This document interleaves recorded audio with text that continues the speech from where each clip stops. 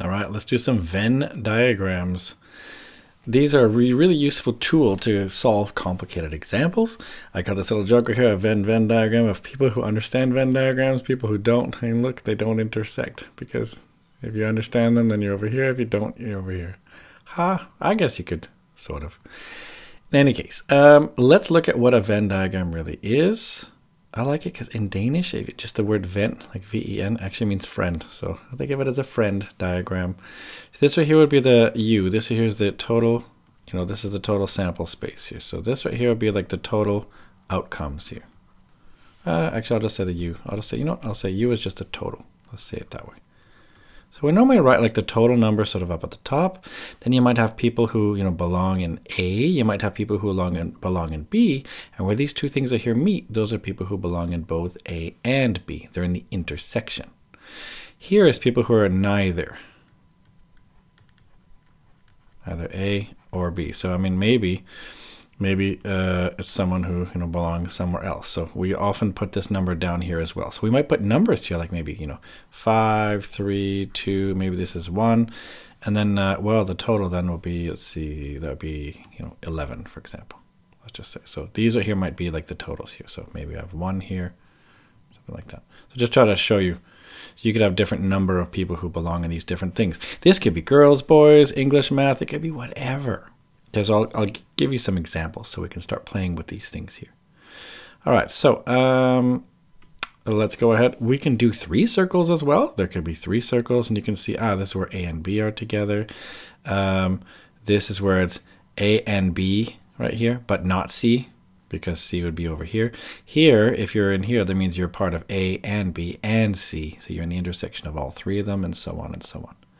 So let's start thinking about intersection and what that really means. This intersection, what I mean by that is that we're going to say A and B. That's what this one here means. This right here, this is A and B. So maybe I'll uh, label it here. This means A and B. That means it's the intersection. So in order to be part of this, if I want to shade where A and B are, this is the kind of key thing. I, I like to think of these almost like um, if you ever use Photoshop and use filters or things like that, or not filters, uh, sorry, even layers, I almost imagine it like that. Like, watch, if I say I want who's belonging in A, let me just shade what A is. If I just shaded, because this is A, this is B here, if I just shaded A, it would be all of this, right? This here would be A. And if I just shaded B, see here, that would look like this, just so we can agree here. This is A, this is B. If I just shaded B, it would be this. Do you see there's these two different things I'm considering? There's A, there's B. Well, A and B, what that is, that is the intersection. That's where this one, if I put this layer on top of this, it's where they would be shaded in both cases. So I imagine this one right here, sort of, you know, I would move this one on top of this one right here, and only look at where the two layers are on top of each other, where there's things shaded both places. And you notice it would be right here in this intersection, so it would actually only be here. This right here is A and B. It's only this part right here that's shaded, okay? Only the middle here. Okay, don't shade the rest. Just this right here. This is this is A and B. That's what this is. Okay? That's called the intersection. That's why we like to use the word and here because it's where the two things intersect and we say it's and. So it's related to the probability stuff we've been doing. We have something else called a union. By the way, I love this one. Look, we have a beaver with an electric guitar. We have a duck with a keyboard. And if you have the intersection of them, look, it's a platypus with a guitar. It's so clever. All right, let's do the union. What does that mean? This is A union B like this. This means or. This is A or B. Now, it's very easy to get into this club. You either have to be part of A or you're part of B. So watch carefully then. If I wanted to shade anyone who's in part of A gets shaded. So anyone who's in A. Watch, I'm just going to shade A here. This is just A. Right? This is anyone who's in A is this right here. Right? Anyone here, this is A. And if you're in B, well, then you're over here also including the middle. So there you go. All right. So this is what I've shaded. I've shaded A or B. It's very easy to be in that club, so to speak. But I wanted to show you something interesting. Or maybe you don't find it interesting, but I do. Um, what about, do you remember this combined events equation here? We had a probability of A or B. We had that it was the probability of A plus the probability of B minus the probability of A and B. I want to kind of explain using a Venn diagram why that is. I think this might help Venn diagrams make more sense. Look, we're saying if we're doing the probabilities, and now we're counting up probabilities of being somewhere, this is what A or B looks like. It's everything shaded. What we're saying is we would count up what's the probability of getting A. We would count up what's the probability of getting B. But do you see what the problem is? We've counted this middle part twice. Does it make sense? Like if we counted all these people here, we found that probability here. We found that probability over here of just B. Do you notice we've counted the middle people twice? That's why we take them away. Do you notice this here? That's why we remove 1 times the intersection. I mean, this is sort of how I like to think of it, is that, you know, we've we've had the intersection here and we just remove it once. So that's why, and if there was no place where they're the same, that's where we recover this equation um, from mutually exclusive, right? So that's where we get just the probability of A plus B. I don't know if that helps, but I just like to think of it, hey, well, look, we counted these people twice. That's why we have to remove them once. That sort of explains where that equation came from. Maybe. All right, let's try to draw or shade the following. So what if I'm trying to do, remember what A primed means? It means not A. So I'm trying to say, where does not A meet? So where does it intersect with not B? Well, maybe let's try to just draw what not A looks like. Maybe We'll do it a different color here. So not A, what would that look like? So just in case we're trying to look at it, here's A, here's B not A would be this. It would be everything, you know, everything here shaded like this. This would be not A. Does that make sense? This here would be not A. And not B, if I want to shade that one, that'd be like this and like this right here, except I would shade everything else. Does that make sense? If this here would be not B, I'm just trying to shade it here. My shading is pretty awful, but I think you get the idea. This here would be not B. Well, where do these two right here meet? Like where is the intersection? Do you notice they never meet on this part, so that for sure won't be shaded. This over here for sure won't be shaded. Notice the middle won't be shaded. So if I shade not this and not this and not this, well, I'm shading everything else.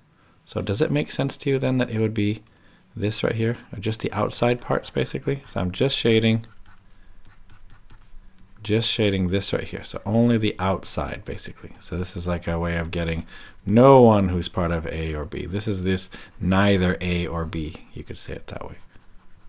So this right here is what I'm shading. This is the shading of not A or not B. All right, let's do another example maybe just to hopefully help it make some more sense. Um, here, what's shaded here? So here's the question. We've shaded this little piece right here. How in the world can I do that? Well, does it make sense? It looks like it's something related to not A, because if you look, it's like uh, everything except for A. So it makes sense it's probably not A. But if I shaded not A, that would look like, see, that would just be all of this, right? So it's clearly not as simple as just saying not A. It's not just that. There's got to be more to it. So this is not A, so I've got part of it. Now I've shaded everything. But I also want to only include the stuff. So the stuff that's here, that's also included in B. So that's why, watch, if I do just B, if I did just B, that would be this right here shaded. You notice it'll be where this one right here, sorry, this one right here meets this one right here. That's the only way to get them on top of each other. So you could say, this is not maybe so simple. These can actually be pretty hard. I would say, ah, that's why this is not A, and it's also B. These take a bit of practice, you know, to sort of figure out, but that's what this is. This is the, yeah, you could say it's not A, because that's what this is, and where that meets, because this is the and, remember that means and here, so this is where not A and B, we could say. Not A, and where it intersects B, right? That's where not A meets B. They only meet at this part right here on the right, not in the middle here, because that was not shaded here. So that's just, that's a way to look at it. All right, let's actually do an example of these. Like this in here with Legos, the firewalk. I have kids, so every time I step on Legos, I feel like this. But all right, so I've just invented some sort of question right here. We have uh, a class of 40 students. We got 34 who like dinosaurs. We got 20 who like Legos. We got two who hate both dinosaurs and Legos. Whoever that is, they're totally lame. Um, how many students like both dinosaurs and Legos? I just made a, you know, Venn diagram for D for dinosaur, L for Lego. Maybe it helps to fill things in just to try to figure out what's going on. So I know there's a total of 40 students. I'm going to write down the number 40 up here. Okay. I also know there's two who hate both dinosaurs and Legos. That means there's two of them who are sitting over here. I don't know if that makes any sense. Now, what I'm trying to figure out is, what do I put in here? I know that the total, the people who live here and live here, I know those add up to 34, but I don't really know what to do here. So I've got a little sort of pro tip for you is give them letters. Call it like A, and maybe I'll call this one B, and I'll call this one here C. And I'm going to make myself some little equations of things that make sense. Watch carefully. If 34 people like dinosaurs, that must mean that the people who live here and here must be adding up to 34. So I'm going to say A plus B equals 34. Did that make any sense? I'm just writing what I know. I know that A and B together will add up to 34. And I know that 20 like Legos. So that means I know that B plus C, see the total people who live in Legos here? B plus C, well, that'll equal 20. And I know something else, it turns out. Because otherwise I'm a little bit stuck here. But I know something else. If there's a total of 40 people, and two of them are totally lame and don't like anything, how many people then are belonging in A plus B plus C? Does that make sense? That's 38. So you see, you have to be a little bit of a detective and figure out these clues. All right, can we use this to figure out something? Yeah, I can. If I know that B plus C equals 20, do you see how I can then say, all right, I'm going to make this then 20, because that's what b plus c is. Therefore, a plus 20 must equal 38. Therefore, what can I conclude about a? a must be 18. Aha! So now I know that a is 18. Yay! Right away, if I know that a is 18, does it make sense now I can figure out b? So since a is 18, I can now figure out b. I know that, uh, well, let's see. a plus b equals 34, right? But A was 18, so 18 plus B equals 34. So I'm going to fix up my B there. Uh, so does that make any sense? Therefore, I can say that B must be, let's see, uh, 34 minus 18, so that'll be 16. So these are some of the little, this, I think the hard part about this is just figuring out your whole Venn diagram. Once you have that sorted out, the rest is okay. All right, well, I also know then that B plus C must be 20. Do you see that? So because of that, let's see, therefore, um, I'll say that, well, let's see, b plus c equals 20. I know what b is. b is 16, so c must be 4. Therefore, this has a 4. Now double check. Does 16 plus 4 really add up to 20? Yes. Does 20 plus 18 really add up to 38? Yes. Does 18 plus 16 add up to 34? Yes. I've done it right. And this plus this plus this plus this equals 40. I've got it solved now. You see, that was actually the hard part was figuring out what goes where. Some people have a really good intuition for it. Some people are really bad at it. That's why I just want to show you. If you're really bad at it, just write A, B, C, write down some equations, be a detective. You'll figure it out, hopefully. All right, now we have everything we need. How many students like both dinosaurs and Legos? Ah, those are the people in the intersection. All right, so that's just 16 students. See how easy that was? Once we knew, once we sort of solved the Venn diagram, this is going to be really easy to do. So, all right, so we got uh, 16 students who like both of them. Great. Now, the question, the next one will be, what's the probability that a student likes dinosaurs given that they like Legos? Let's use our conditional probability equation. Remember how that one goes? Conditional probability, probability of A, given that B already happened. Right, that's what this means. This means given. So this is a probability of A given that B happened. That's what this really means, okay? Whoops, happened. Just to remind you, that's the definition of conditional probability. So probability of A, given that B already happened, is going to be probability of A and B over probability of B. That's just a generic equation. Well, let's use it. I want the probability of, not A, I want it of dinosaurs given Lego. You see, I've just got to convert it to what I need. So probability of dinosaur given that they like Legos equals, well, it's going to be the probability of both of them together. So probability of dinosaurs and Legos divided by the probability of Legos. It's always this and this over this. That's what I do here. What can I figure these out? Do I know the probability of dinosaur and Lego? Well, yeah, people who live in dinosaur and Lego, that is 16 people out of how many people total? 40. See that? Now I'm going to divide that by probability of people liking Lego. Well, how many people like Legos overall? Well, there's actually 20 of them who like Legos. So it's 20 over 40. What happens when I divide a fraction by a fraction? I multiply by the reciprocal, so that means it's 16 over 40 times 40 over 20. Notice what happens now? The 40s cancel out, which is nice. So now I'm left with uh, 16 over 20. Let's see, they both divide by 4, don't they? So that gives me 4 over 5.